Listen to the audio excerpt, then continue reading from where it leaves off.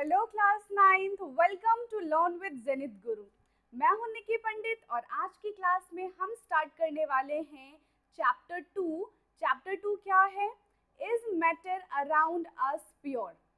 क्या मैटर, जो हमारे आसपास का मैटर है, क्या वो प्योर है या इम्प्योर है? हम कैसे बात हम कैसे बताएँगे कि कौन सा मैटर प्योर है, कौन सा मैटर इम्प्योर है? फॉर सपोज़, मैं आपको देती हूँ कि आपके पास घी है। जो घी आप डेली यूज़ करते हो, जो घी आप डेली खाते हो। अब आप मुझे ये बताइए, क्या वो घी प्योर है या नहीं है? तो आप क्या बोलोगे? हम घी खाते हैं, यानी कि वो प्योर ही होगा, तभी तो हम खाते हैं, है ना? तभी तो हमारे मम्मा हमको वो घी देती हैं।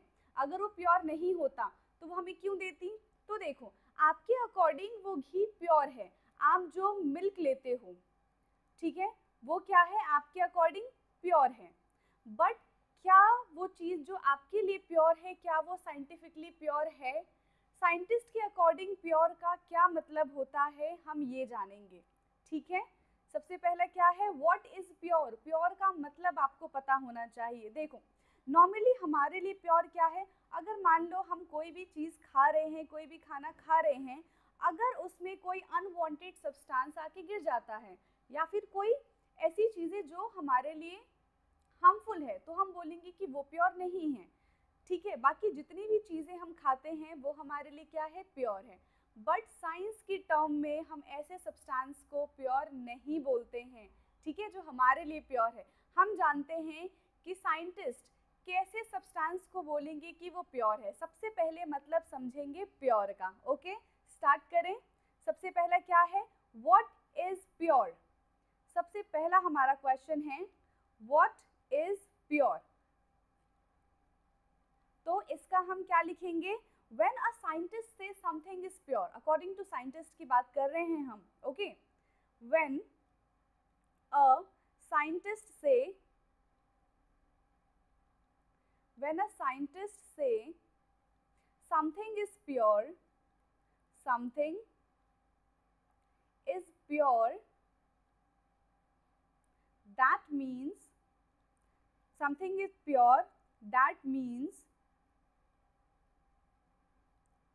wait और that means की जगह it means हम कर सकते हैं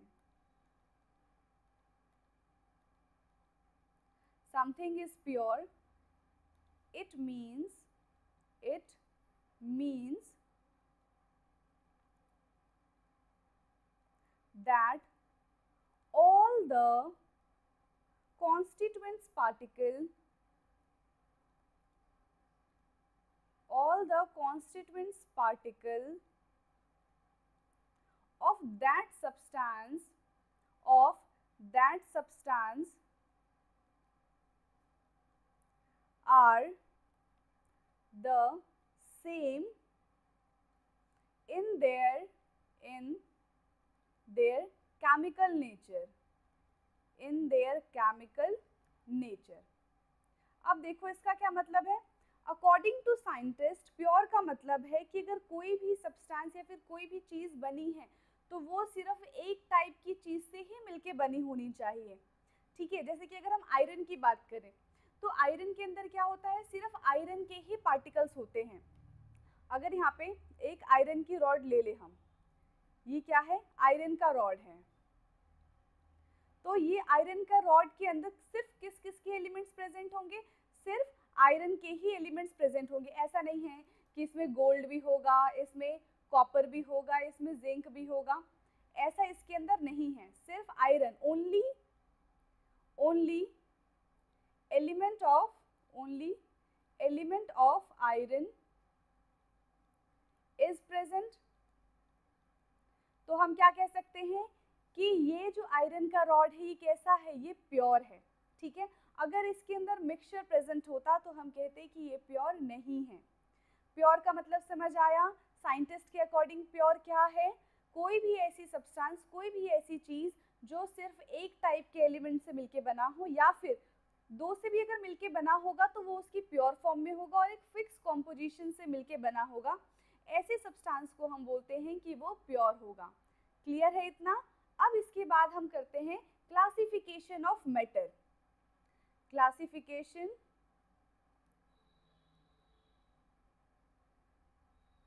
classification of metal हम फ़र्स्ट चैप्टर में भी क्लासिफिकेशन कर चुके हैं मैटर का। ठीक है? हमने ये देखा था कि मैटर को कैसे क्लासिफाई करेंगे जहाँ पे हमने मैटर uh, को केमिकली एंड फिजिकली क्लासिफाई किया था। Okay okay? यहाँ पे क्या है? मैटर को जब हम क्लासीफाई करेंगे तो वो किस किसमें क्लासीफाई होगा? एक प्योर सब्सटेंस में और दूसरा होता है mixture first is pure substance pure substance and another is mixture अब देखो, ये प्योर सब्सटेंस भी फर्दर टू में कैटेगराइज होता है और same as mixture pure substance को हम कैटेगराइज करते हैं एलिमेंट और कंपाउंड की उसमें, ठीक है? कंपाउंड के फॉर्म में। Pure substance is divided into element यहाँ पे हो जाएगा element and another one is compound and mixture is categorize into homogeneous mixture and heterogeneous mixture ये आएगा homogeneous mixture homogeneous mixture and second one is heterogeneous mixture.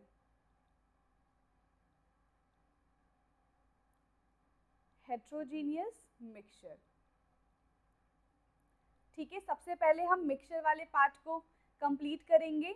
आज की class में हम मिक्सचर होमोजीनियस हेट्रोजीनियस सोल्यूशन क्या होता है, ये सारी चीज़ें देखेंगे। ओके स्टार्ट करते हैं फिर। क्या है हमारा मिक्सचर क्या होता है? देखो मिक्सचर हेडिंग है हमारी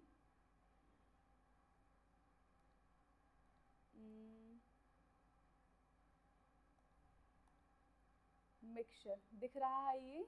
हाँ।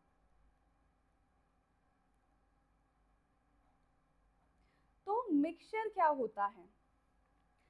अगर हम दो या फिर दो से ज़्यादा चीज़ों को मिला के एक नया प्रोडक्ट बनाते हैं जिसमें वो जो दो या फिर दो से ज़्यादा हमने चीज़ें मिलाई हैं it may be solute may be solvent तो उनका एक फिक्स कॉम्पोजिशन नहीं होता। फॉर सपोज़ अगर मैं आपसे कहूँ कि चाय बनानी है, ठीक है, सिर्फ़ बनानी है।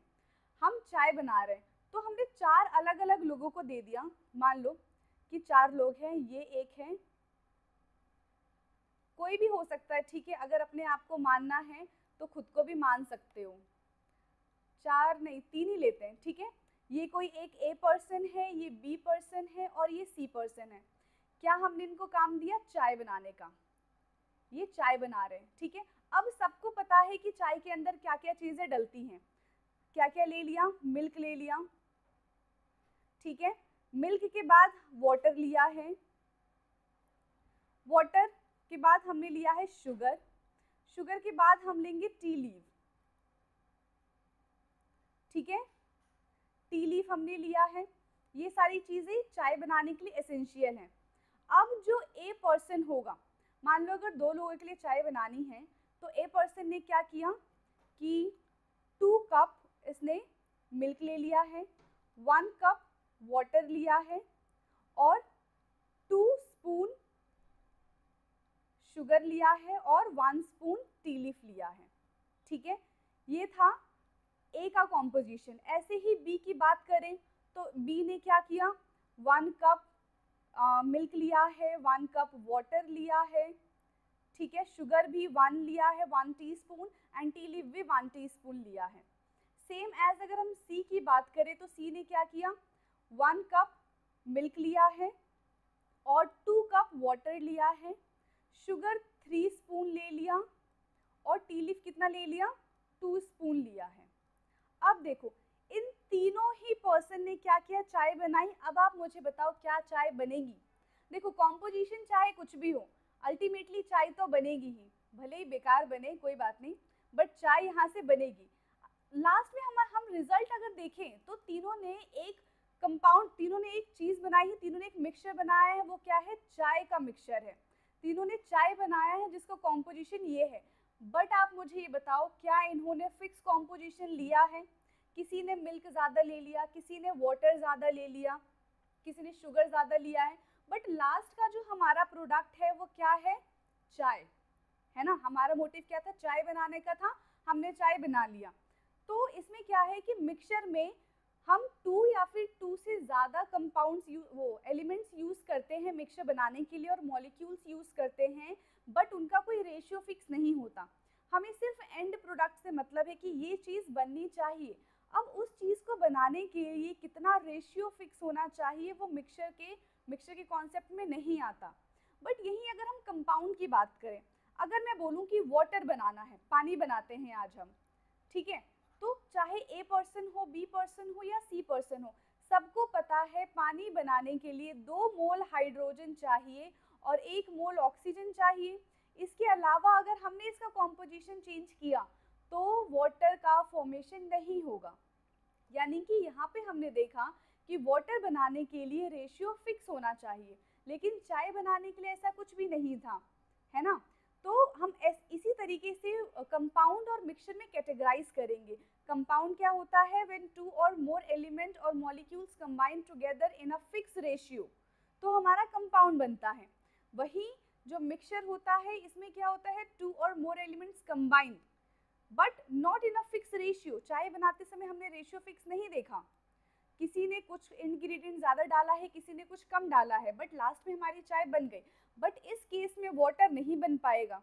तुम्हारा मन कर रहा है कि दो हाइड्रोजन लिया, ठीक है, दो हाइड्रोजन ले लिया, दो ऑक्सीजन लिया तो क्या ये वाटर बनेगा? ये बन जाएगा H2O2 जो कि होता है हाइड्रोजन पर ऑक्साइड क्या हो जाएगा? हाइड्रोजन पर ऑक्साइड तो यानी कि कंपाउंड बनाने के लिए रेशियो हमेशा फिक्स होना चाहिए। ओके क्लियर है?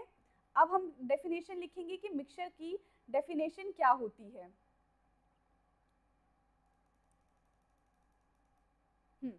मिक्सचर हम्म,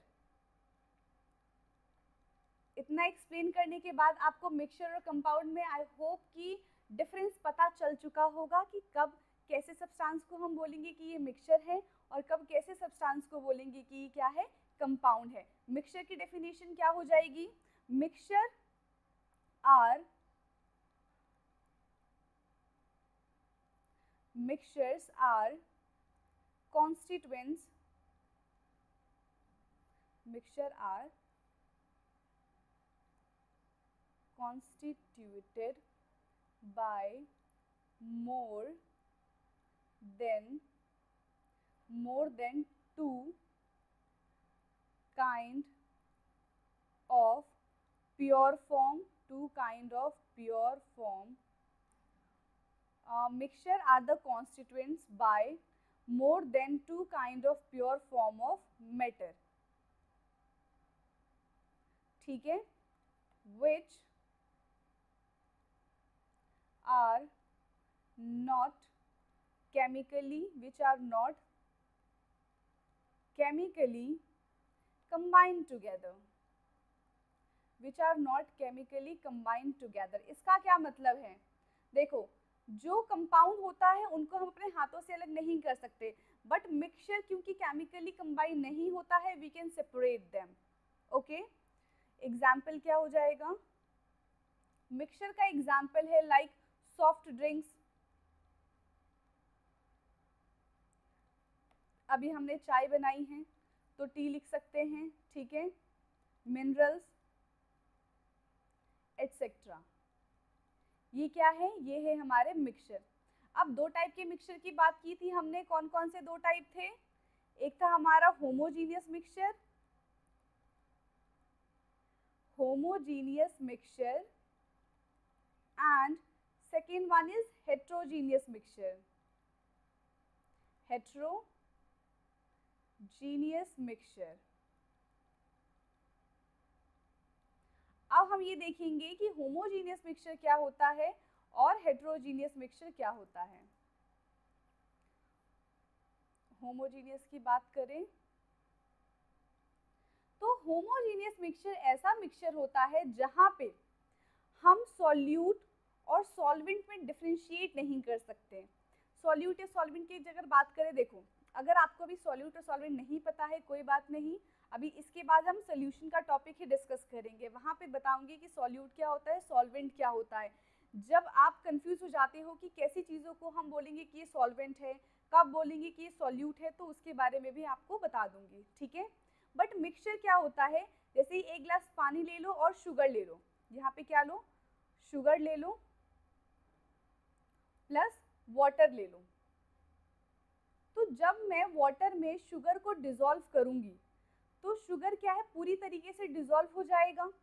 जब हमें सॉल्यूट और सॉल्वेंट के बीच का डिफरेंस ना पता चले, ठीक है? जब सॉल्यूट पूरी तरीके से सॉल्वेंट में डिजोल्व हो जाए, उस सोल्यूशन को हम बोलते हैं कि वो एक होमोजीनियस मिक्सचर है, ठीक है? Homogeneous mixture when solute when solute completely when solute completely dissolve when solute completely dissolve in solvent is known as homogeneous mixture is known as homogeneous mixture और होमोजीनियस मिक्सचर में हमें boundaries visible नहीं होती किस type की boundaries की बात कर रही हूँ मैं यहाँ पे?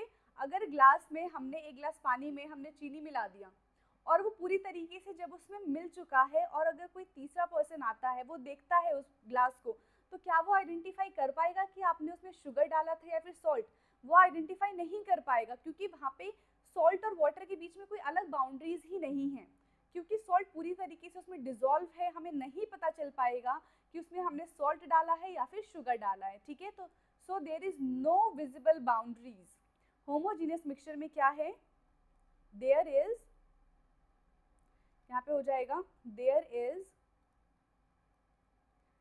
no visible boundaries ठीक है? एग्ज़ाम्पल आपको पता ही है salt plus water sugar plus water और milk plus water example is salt plus water first one और क्या हो सकता है? Sugar plus water and milk plus water कर लो। यहाँ पे मिल्क प्लस वाटर इनका हमारा क्या बनेगा? होमोजीनियस मिक्सचर बनेगा। और एक बात इंटरेस्टिंग बात बताती हूँ मे बी आपको पता हो। ये जो सॉल्ट एंड वाटर होता है सॉल्ट एंड वाटर की कॉम्पोजिशन को हम बोलते हैं ब्राइन सोल्यूशन इसको हम बोलते हैं ब्राइन सोल्यूशन अगर कहीं पे भी ब्राइन सोल्यूशन लिखा दिख जाए तो समझ जाना ये नमक वाले पानी की बात कर रहे हैं. ओके अब आता है हेट्रोजीनियस मिक्सचर हेट्रोजीनियस मिक्सचर क्या होता है? जहाँ पे सॉल्यूट कम्प्लीटली डिजोल्व नहीं होता है सॉल्वेंट में and there is visible boundaries हमें अलग से पता चल रहा होता है कि सल्यूट कहाँ है और सॉल्वेंट कहाँ है, ओके? तो यहाँ पे क्या हो जाएगा? When solute is when solute is partially when solute is partially dissolve in solvent when solute is partially dissolve in solvent is known as is is known as heterogeneous mixture heterogeneous mixture okay and there is and there is visible boundaries there is visible boundaries वहाँ पे क्या होता है visible boundaries होती हैं example क्या है like sand plus water अगर हम सैंड डालेंगे वाटर में तो क्या सैंड विजिबल होगा? ऑफ़ कोर्स होगा। Second one is oil and water आप सबको पता है कि जो ऑयल है, वो वाटर में डिजोल्व नहीं हो सकता। बट हम ऐसा कर सकते हैं कि ऑयल को वाटर में डिजोल्व कर सकते हैं। ठीक है? जब आप ट्वेल्थ में जाओगे सरफेस केमिस्ट्री का चैप्टर पढ़ोगे तो वहाँ पे आपको पता चलेगा कि हम इमल्सीफायर की हेल्प से ऑयल एंड वाटर को ऐड कर सकते हैं। जो हम बॉडी लोशंस वगैरह यूज़ करते हैं ना, उसमें दोनों के कॉम्पोजिशंस होते हैं। तो वो कैसे अटैच किए जाते हैं? वो इमल्सीफायर की हेल्प से अटैच किए जाते हैं कि ऑयल एंड वाटर को हमने मिक्स कर दिया है। ठीक है? हमने मिक्सचर कंप्लीट कर लिया है। मिक्सचर के बाद अब हम बात करेंगे सोल्यूशन की, कि सोल्यूशन क्या होता है। अब आता है।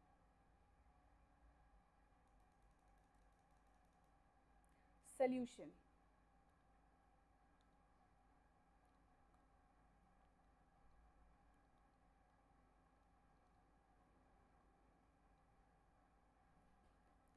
सोल्यूशन क्या है? Solution is a homogeneous mixture of solute and solvent जब सॉल्यूट और सॉल्वेंट को हम ऐड करते हैं तो सोल्यूशन बनता है। यहाँ पे हम लिख सकते हैं solution is a homogeneous, solution is a homogeneous mixture of mixture of solute and solvent. Solute and solvent अब देखो, हमने ये कह तो दिया कि होमोजीन, ये सोल्यूशन क्या होता है? सॉल्यूट एंड सॉल्वेंट का मिक्सचर होता है। बट अब हमें ये भी तो पता होना चाहिए कि सॉल्यूट एंड सॉल्वेंट क्या है, क्यों? क्योंकि आप लोग कंफ्यूज हो जाते हो। कैसे पता करें कि कौन सा सॉल्यूट है, कौन सा सॉल्वेंट है? तो देखो, सॉल्यूट क्या होता है?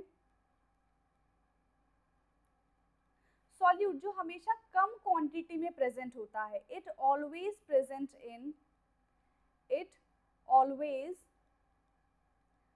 present in lesser quantity it always present in lesser quantity जो हमेशा लेसर क्वांटिटी में प्रेजेंट होता है, उसको हम सॉल्यूट कहते हैं। एंड अनदर क्या हो जाएगा, और कैसे हम आइडेंटिफाई करेंगे? जो सॉल्यूट होता है, वो अपनी आइडेंटिटी को लूज कर देता है सॉल्वेंट में डिजोल्व होने के बाद। इट लूज आइडेंटिटी वो अपनी आइडेंटिटी को लॉस कर देता है। कैसे? जैसे शुगर हमने क्या किया? वाटर में शुगर को ऐड किया। जब शुगर पूरी तरीके से वाटर में डिजोल्व हो जाएगा, तब हम आइडेंटिफाई नहीं कर पाएँगे कि सॉल्यूट कितना था और कहाँ गया। यानी कि वहाँ से सॉल्यूट जो है वो गायब हो गया। उसकी आइडेंटिटी जो है वो खत्म हो गई। पहले कैसा था? पहले सॉलिड नेचर का था। बट अब हमें ना सॉलिड दिख रहा है, ना लिक्विड दिख रहा है। उसकी आइडेंटिटी एकदम खत्म हो गई है। तो सॉल्यूट हमेशा अपनी आइडेंटिटी को लूज कर देता है। लेकिन वहीं अगर हम सॉल्वेंट की बात करते हैं तो सॉल्वेंट हमेशा अपनी आइडेंटिटी को रिटेन रखता है एंड हमेशा हाइयर क्वांटिटी में प्रेजेंट होता है। सॉल्वेंट सॉल्वेंट हो जाएगा it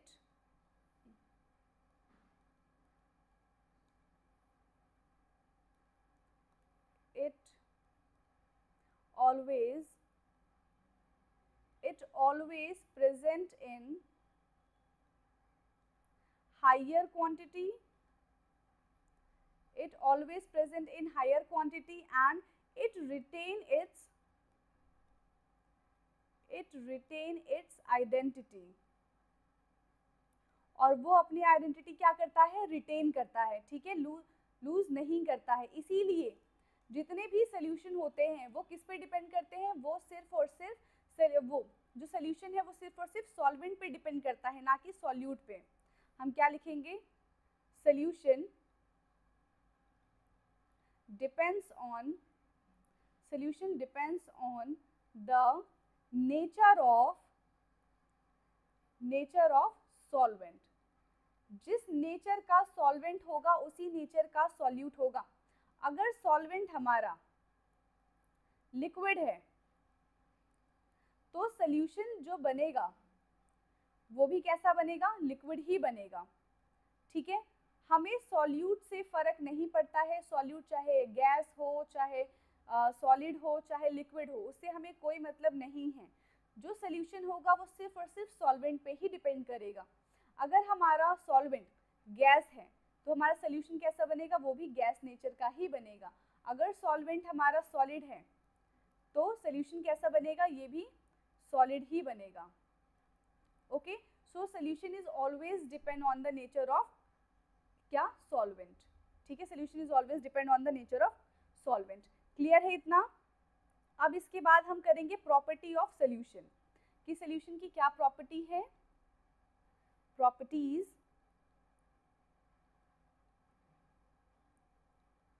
प्रॉपर्टीज़ ऑफ़ सोल्यूशन तो देखो पहली प्रॉपर्टी तो क्या है कि वो एक होमोजीनियस है ठीक है? uh, हम क्या लिख सकते हैं? A solution is a homogeneous mixture a solution a solution is a homogeneous mixture.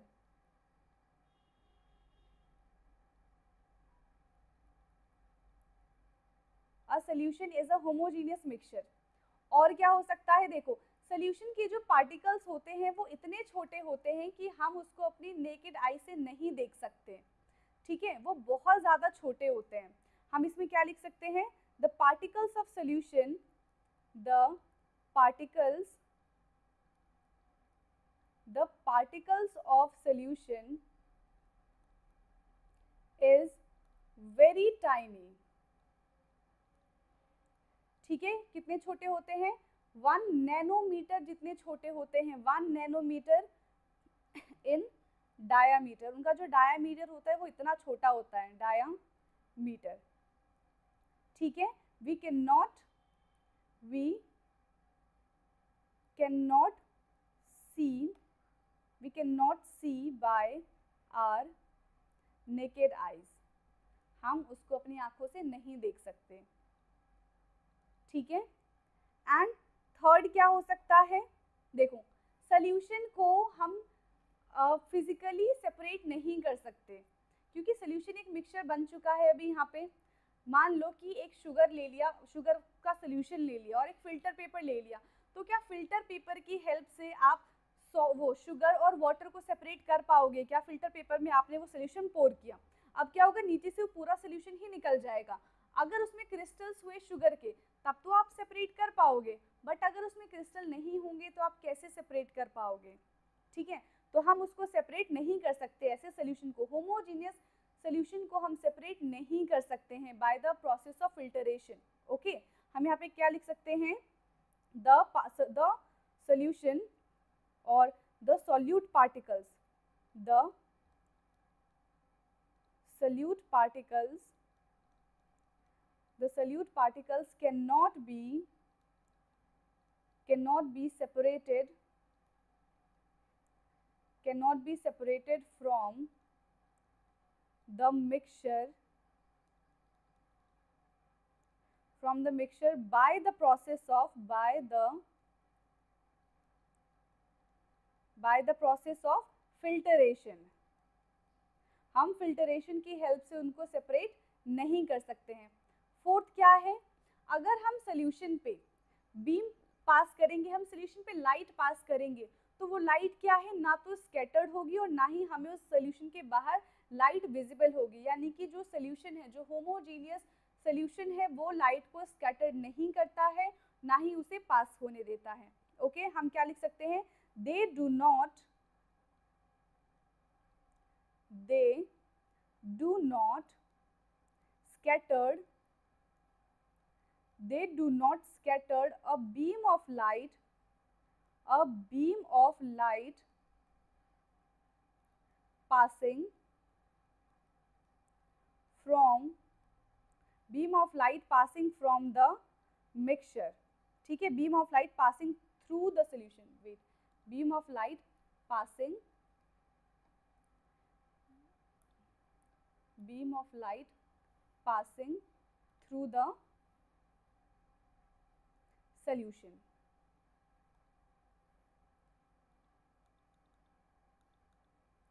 Passing, passing through the solution.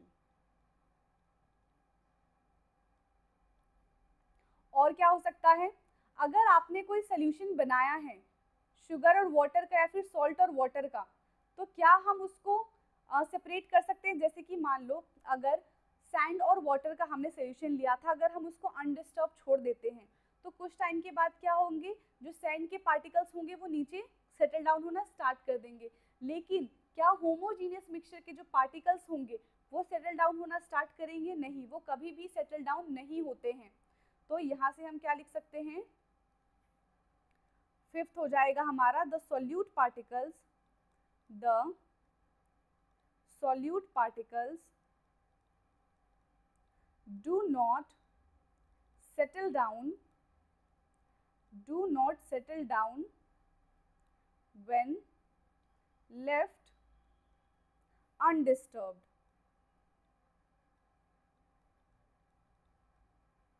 ठीक है, जब हम उसको अनडिस्टर्ब छोड़ देंगे तो वो सेटल डाउन नहीं होगा। ओके क्लियर है? ठीक है? यहाँ पे हमने देखा प्रॉपर्टी ऑफ़ सोल्यूशन अब हम बात करेंगे एलॉय की, क्योंकि एलॉय भी क्या है? एक टाइप का मिक्सचर ही है। अभी हमने सोल्यूशन देखा solution is a type of mixture अब हम देखते हैं एलॉय के बारे में कि एलॉय क्या है। एलॉय देखो एलॉय क्या होता है? Alloy is a type of mixture when metal metal या फिर मेटल नॉन मेटल आपस में कंबाइन होके एक नया प्रोडक्ट देते हैं, उसको हम बोलते हैं एलॉय एलॉय क्यों इंपॉर्टेंट है? क्योंकि जब दो मेटल मान लो दो मेटल है अलग अलग उनकी प्रॉपर्टी है, जब उन दोनों को हम ऐड कर देंगे तो एक तीसरी प्रॉपर्टी मिलेगी जो उन दोनों से काफ़ी बेहतर होगी. हाँ अच्छी टेंसाइल होगी अच्छा उसका हीटिंग पावर होगा मीन्स वो ज़्यादा टेम्परेचर को बियर कर सकता है, बहुत ज़्यादा हार्ड होगा. ठीक है, जब दो अलग अलग मेटल को हम कंबाइन करेंगे, इसीलिए हम एलॉय बनाते हैं। एलॉय में क्या लिखेंगे कि एलॉय होता क्या है? तो ये हो जाएगा mixture of alloy is a mixture of mixture of two or more two और मोर मेटल्स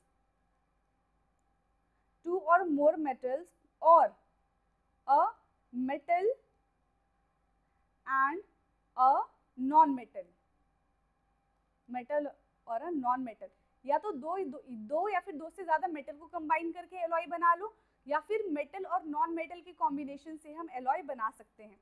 ठीक है? अब देखो अभी हमने एलॉय के बारे में जाना कि हम उसको ऐसे क्या कर सकते हैं? कंबाइन कर सकते हैं। ऐसे मेटल और नॉन मेटल को कंबाइन करके हम एलॉय बना सकते हैं जिनकी प्रॉपर्टी बिल्कुल डिफरेंट होगी जिन मेटल को हमने कंबाइन किया है। ओके अब क्या हम ऐसे एलॉय को सेपरेट कर सकते हैं? देखो, नहीं कर सकते हम ऐसे एलॉय को सेपरेट हमने उनको केमिकली बाउंड कर दिया है, ठीक है? हमने उसको ऐसे अटैच कर दिया है कि अब सेपरेट कर पाना बहुत ज़्यादा डिफ़िकल्ट हो जाएगा। जैसे कि हम ब्रास की बात करें तो ब्रास क्या होता है? वो जिंक और टिन से मिलके बनता है। तो उनका कुछ फिक्स कॉम्पोजिशन होता है कि 30 परसेंट और 70 परसेंट से मिलके बनाया जाता है। बट हम उसको अपने हाथों से सेपरेट तो नहीं कर सकते, कोई किसी भी एलॉय को, या फिर कभी आपको अगर आपने कहीं पार्टिसिपेट किया होगा, ठीक है तो आपको अगर ब्रॉन्ज मेडल मिला होगा so bronze medal is also a alloy तो आप ब्रॉन्ज मेडल को जब आप देखोगे तो आप उसको देख के ऐसे नहीं कर सकते, उसको अलग कर सकते हो कि उनकी कॉम्पोजिशन को हमने अलग अलग कर दिया, ठीक है? तो क्या लिखेंगे? Alloy can not be separated alloys can not be separated alloy cannot be separated into their compounds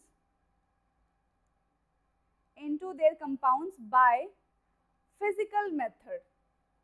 हम फ़िज़िकल मेथड से इसको सेपरेट नहीं कर सकते। जैसे हमने सोल्यूशन को भी हम फ़िज़िकल मेथड से सेपरेट नहीं कर सकते थे। फिल्टरेशन मेथड हमने यूज़ किया था बट क्या हम सोल्यूशन को सेपरेट कर पाए थे?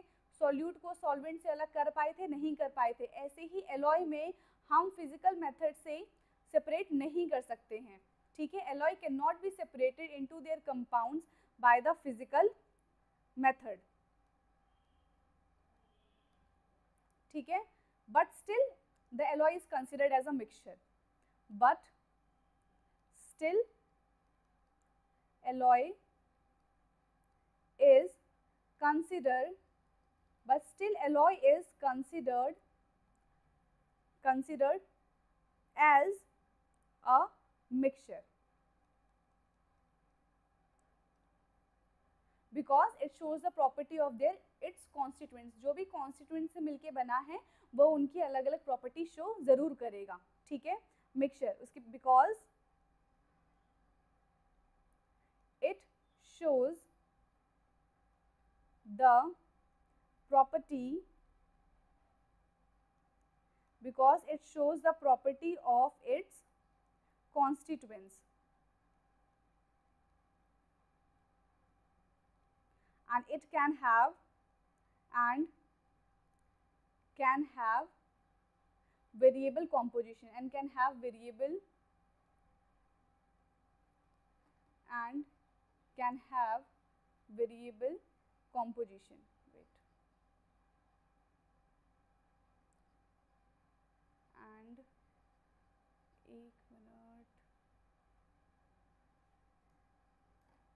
variable composition clear है? यहाँ पे एग्ज़ाम्पल की अगर बात करें तो क्या लिया था हमने? ब्रास लिया था। ठीक है? जो कि टिन नहीं ब्रास कॉपर और जिंक से मिलके बनता है। सॉरी उसमें गलत बता दिया था। ब्रास जो होता है वो किससे मिलके बनता है?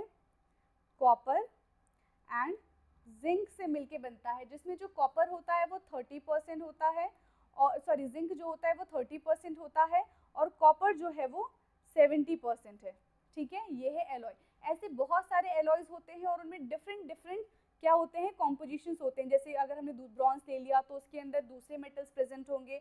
उनका कॉम्पोजिशन परसेंट वाइज अलग होगा. ठीक है? क्लियर है? तो आज की क्लास में हमने क्या क्या पढ़ा? आज की क्लास में इतना ही रहने देते हैं. बस एक बार क्या करते हैं? कंक्लूड कर लेते हैं हमने क्या क्या पढ़ा है. सबसे पहले हमने देखा कि प्योर मैटर क्या होता है? ठीक है, कैसे बोलेंगे कि कोई भी सब्सटेंस प्योर है कि नहीं है? उसके बाद हमने क्लासिफिकेशन किया है। हमने क्लासिफिकेशन किया। क्लासिफिकेशन के बाद हमने मिक्सचर्स के बारे में पढ़ा, जिसमें हमने होमोजीनियस हेट्रोजीनियस उसके बाद हमने सोल्यूशन देखा। सोल्यूशन में हमने सोल्यूशन की सारी प्रॉपर्टीज़ पढ़ी हैं एंड देन एलॉयस किया। ठीक है तो आज की क्लास में हमने इतना कवर किया है। सेम चीज़ हम नेक्स्ट क्लास में क्या करेंगे? एक बार एन e से रीड कर लेंगे, ठीक है? कि अगर कुछ भी चीज़ छूट गया हो तो हम वहाँ से कवर कर सकते हैं ओके आज की क्लास के लिए इतना ही, बाकी नेक्स्ट क्लास में मिलते हैं एन रीडिंग e के साथ ओके थैंक यू